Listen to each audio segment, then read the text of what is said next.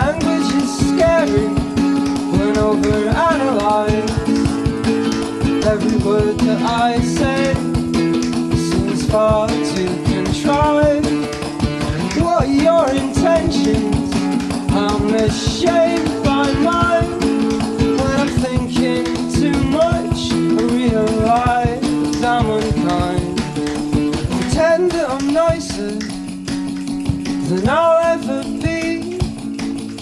I'm selfish and deluded, enjoy my hypocrisy. Complain that I'm bored, when being bored is a privilege.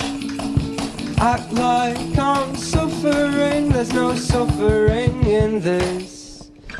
If you have a milkshake, and I have a milkshake, and I have a straw, there it is, that's a straw.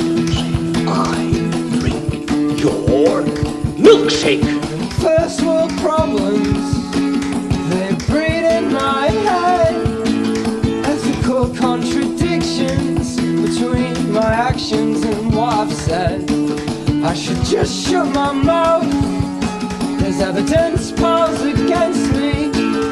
I'm so much worse than I think. Exposed as a phony. I am shit. I am shit.